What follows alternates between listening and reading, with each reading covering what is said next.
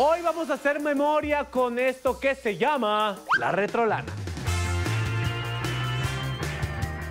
Hace apenas 21 años, fíjate, Ay, ni siquiera había nacido Sí. yo, en la televisión mexicana se transmitía una telenovela que se tituló Nada Personal. ¿eh? Donde los protagonistas eran José Ángel Llamas, Ajá, sí. Demián Bichir Uy. y Ana Cochadera. No, Digo, Colchero. Ana Cochero, Sí, Ana Colchero, perdón.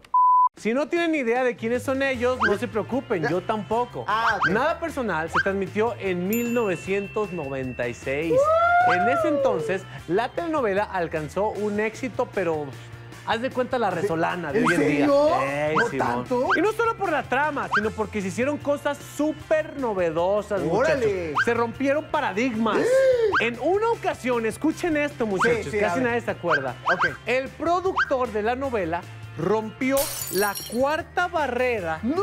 y se comunicó con el televidente directamente, justificando y explicando Ajá. por qué la protagonista salió de la novela. ¡No! ¡No mames! ¡Tú bien perro, güey! Neta, esto realmente ocurrió.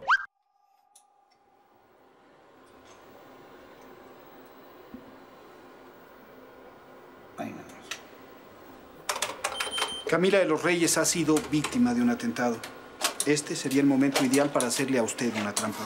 Mi nombre es Epigmenio Ibarra, soy el productor de Nada Personal y estoy aquí para decirle, a nombre de todos los que trabajamos en esta telenovela, que nosotros no vamos a mentirle. Usted sabe ya que nos abandonó una actriz. No vamos a ser rehenes de la vanidad de nadie. Nos comprometimos desde un principio a contarle la historia de Camila de los Reyes. Se fue una actriz, no nuestro personaje. Nuestro compromiso lo vamos a cumplir. Gracias por acompañarnos.